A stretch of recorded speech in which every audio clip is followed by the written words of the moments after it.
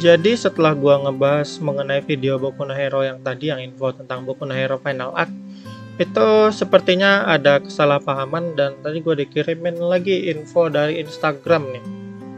Gua dikirimin dikirimin screenshotan kayak gini. wak wak wak wak headline-nya berubah beritanya diubah dari Final Arc jadi Final Arc. Sampai saat ini belum ada info ya tentang BNHA yang memasuki arc terakhir. Jadi jangan percaya dulu. Jadi mungkin di sini maksudnya mungkin info yang tadi itu salah ya final arc itu maksudnya mungkin bukan art terakhir dari Boku no Hero jadi bisa jadi masih panjang ceritanya.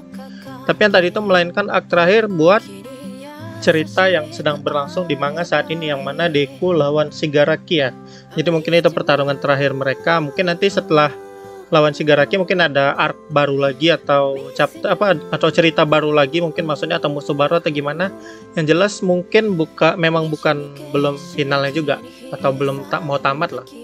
Ya kita harap aja itu memang benar dan mungkin masih panjang lagi ceritanya ya.